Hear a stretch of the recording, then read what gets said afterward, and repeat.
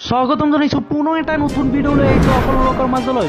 অৰুণোদয় আঁচনিৰ আবেদন আৰম্ভ হৈছে অৰুণোদয় আঁচনিৰ কেনেকৈ আবেদন কৰিব আপোনালোকে আৰু কি কি নথি পত্ৰ লাগিব আপোনালোকৰ যোগ্যতা কেনেকুৱা হ'ব লাগিব আৰু আপুনি ক'ৰ পৰা জানিব পাৰিব যে আপোনাৰ গাঁৱতে আপোন আপোনালোকৰ অৰুণোদয় আঁচনি আবেদন আৰম্ভ হৈ গৈছে আৰু ক'ত জমা দিব আপোনালোকৰ ডকুমেণ্টছখিনি সবিহে এই ভিডিঅ'টোত জনাম।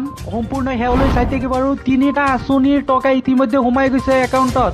আৰু আপোনাৰ একাউণ্টত টকাখিনি সোমাইছে নে নাই আপোনাৰ মোবাইলৰ যোগেদি অতি সহজতে চাব পাৰিব। মই এই ভিডিঅ'টোত সবিহে ষ্টেপ বাই ষ্টেপ আপোনালোকক দেখাই দিম। ভিডিঅ'টো সম্পূৰ্ণ শেষলৈ চাই থাকিব আৰু যদি আমাৰ চেনেলটো তেতিয়ালৈকে নতুন হৈ আছে প্লিজ চেনেলটো ছাবস্ক্ৰাইব কৰি কাষত থকা বেল আইকনটো প্ৰেছ কৰি দিব। আৰু অৰুণোদয় আঁচনিৰ কাৰণে বহুতেই গুৰুত্বপূৰ্ণ খবৰ কিয়নো ৰাজ্যৰ দৰিদ্ৰ পৰিয়ালে প্ৰতি মাহে লাভ কৰে। ধন আৰু তাৰ বাবে আপোনালোকে অৰুণোদয় আঁচনিৰ ধনৰ লাভৰ বাবে কেনেকৈ আবেদন কৰিব? আপোনালোকে প্ৰতি বছৰতে আবেদন কৰিব পাৰিব অৰুণোদয় আঁচনিত। আৰু কি কি নথি পত্ৰৰ প্ৰয়োজন হ'ব আপোনাৰ অৰুণোদয় আঁচনিৰ কাৰণে আবেদন কৰিবলৈ? আৰু ৰাজ্যৰ দৰিদ্ৰ পৰিয়ালে আঠশ ত্ৰিছ টকাকৈ প্ৰতি মাহে লাভ কৰিব। আৰু আবেদনকাৰীৰ অসমৰ স্থায়ী বাসিন্দা হ'ব লাগিব। আৰু বৰ্তমান অসমত বসবাস কৰা হ'ব লাগিব। আৰু পৰিয়ালৰ মুঠ বাৰ্ষিক আয় দুই লাখ টকাতকৈ কম হ'ব।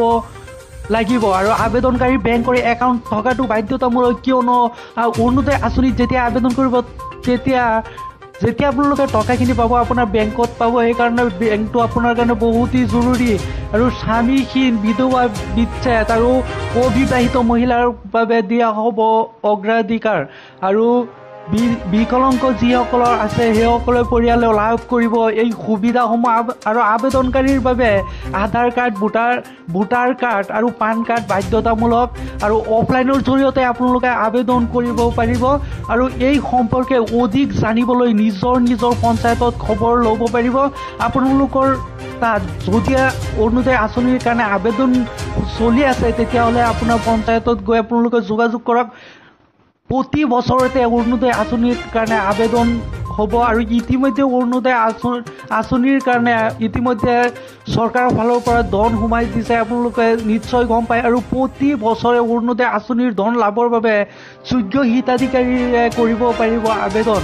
আৰু আপোনাৰ তাত আবেদন হৈ আছে নে নাই সোনকালে আপোনালোকে আপোনাৰ পঞ্চায়তত গৈ যোগাযোগ কৰক।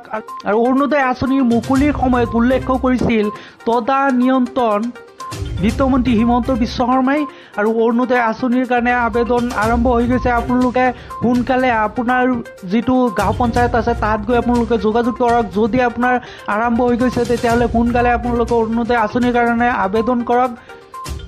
আৰু এটা ভাল খবৰ যিসকল মহিলাই পেঞ্চন পাই আছে সেইসকলৰ কাৰণে বহুতেই ভাল খবৰ। আপোনাৰ একাউণ্টত টকা সোমাই গ'ল আৰু চৌব্বিছ লাখ চাৰি হাজাৰ দুশ আঠত্ৰিছগৰাকী লোকৰ একাউণ্টত টকা সোমাই গ'ল আৰু কোনকেইটা পেঞ্চনৰ হিতাধিকাৰীয়ে টকা লাভ কৰিছে আপোনালোকক জন- জনাই আছোঁ। শ্বহীদ কুশল কোঁৱৰ বৃদ্ধ পেঞ্চনৰ হিতাধিকাৰীৰ টকা সোমাই গৈছে আৰু ইন্দিৰা মিৰি সৰ্বজনীন বিধৱা পেঞ্চন যিসকলে পায় সেইসকলৰ একাউণ্টত টকা সোমাই গ'ল। আৰু দীনদয়াল বৃদ্ধাংক সাহাৰ্য আঁচনিৰ হিতাধিকাৰীৰ একাউণ্টত সোমাই গৈছে।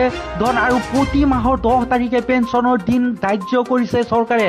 আৰু আপোনাৰ একাউণ্টত টকা সোমাইছে নে নাই সেইটো মই আপোনালোকক মোবাইলৰ আপোনাৰ মোবাইলৰ যোগেদি জানিব পাৰিব। মই দেখাই আছোঁ এইটো ষ্টেপ বাই ষ্টেপ আৰু একেটা দিনতে ৰাষ্ট্ৰীয় বৃদ্ধ পেঞ্চন আৰু বিধৱা পেঞ্চন নিয়ন্ত্ৰিতভাৱে প্ৰদান কৰা হৈছে। এই টকাখিনি আৰু আৰ্তজনৰ সাহাৰ্যৰে অসম চৰকাৰে এই পদক্ষেপ বৃহৎ পদক্ষেপ লৈছে আৰু চৌব্বিছ লাখ চাৰি হাজাৰ দুশ আঠত্ৰিছগৰাকী লোকৰ একাউণ্টত ইতিমধ্যে সোমাই গ'ল টকা আৰু সেইসকল বিধৱা পেঞ্চনে পাইছে আৰু সেইসকলে হৈছে শ্বহীদ কুশল কোঁৱৰ বৃদ্ধ পেঞ্চন হিতাধিকাৰীয়ে একাউণ্টত সোমাইছে। ইন্দিৰা মিৰি সৰ্বজনীন বিধৱা পেঞ্চনো সোমাইছে আৰু দীনদয়াল বৃদ্ধাংক সাহাৰ্য যিসকলৰ আঁচনি আছে। সেইসকলৰ টকা সোমাই গৈছে ইতিমধ্যে আৰু প্ৰতি মাহৰ দহ তাৰিখে আপোনালোকে এই টকাখিনি লাভ কৰিব। এই তিনিটা পেঞ্চনৰ যোগেদি আপোনালোকে যিসকলে এইকেইটা পেঞ্চন পাই আছে সেইসকলে একাউণ্টত টকা সোমাই গ'ল। আৰু যি তিনিটা আঁচনিৰ কথা কোৱা হৈছে এই তিনিটা আঁচনিৰ ভিতৰত যদি আপুনি পাই আছে টকা তেতিয়াহ'লে আপোনাৰ একাউণ্টত টকা সোমাইছে নে নাই সেইটো চাবলৈ হ'লে আপোনালোকৰ মোবাইলৰ গুগল ক্ৰম ব্ৰাউজাৰটো অ'পেন কৰিব। অ'পেন কৰি আপোনালোকে ইয়াত টাইপ কৰিব পি এফ এম এছ বুলি টাইপ কৰি দিব। টাইপ কৰি গুগলত চাৰ্চ কৰি দিব। চাৰ্চ কৰি দিয়াৰ লগে লগে এনেকুৱা এটা পেজ আহি যাব। আহি যোৱাৰ লগে লগে আপোনালোকে দেখিবলৈ পাইছে থ্ৰী ডট আছে ইয়াত। এইটো অপশ্যনত ক্লিক কৰিব। ক্লিক কৰাৰ লগে লগে তলত এটা দেখিবলৈ পাইছে ডেস্কটপ চাইট বুলি এটা অপশ্যন আছে, এই অপশ্যনত ক্লিক কৰি দিব। এইটো অপশ্যনত যেতিয়াই ক্লিক কৰিব ক্লিক কৰাৰ লগে লগে ধুনীয়াকৈ এনেকৈ আহি যাব, আহি যোৱাৰ লগে লগে আপোনালোকে দেখিবলৈ পাইছে পি এফ এম এছ ইয়াত দেখিবলৈ পাইছে, এইটো অপশ্যনত ক্লিক কৰি দিব। এইটো অপশ্যনত ক্লিক কৰি দিয়াৰ লগে লগে আৰু এটা নতুন পেজ খুলি আহিব। খুলি অহাৰ লগে লগে আপোনালোকে তল পিনে আহিব, আহি যোৱাৰ লগে লগে ইয়াত দেখিবলৈ পাইছে নাও ইউৰ পে'মেণ্ট এইটো অপশ্যনত ক্লিক কৰি দিব। এইটো অপশ্যনত যেতিয়াই ক্লিক কৰিব আৰু এনেকুৱা এটা পেজ আহি যাব, এনেকুৱা এটা পেজ আহি যোৱাৰ লগে লগে ইয়াত তল, ইয়াত ক্লিক কৰিব। ইয়াত ক্লিক কৰি আপোনাৰ বেংকৰ নামটো আপোনালোকে ইয়াত লিখি দিব। আপোনাৰ কোনটো বেংক আছে, এইটো ইয়াত লিখি দিব।